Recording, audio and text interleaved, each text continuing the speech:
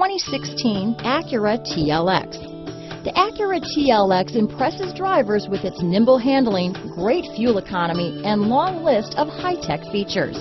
It comes with an extremely quiet interior, spacious front seats, and smooth ride quality.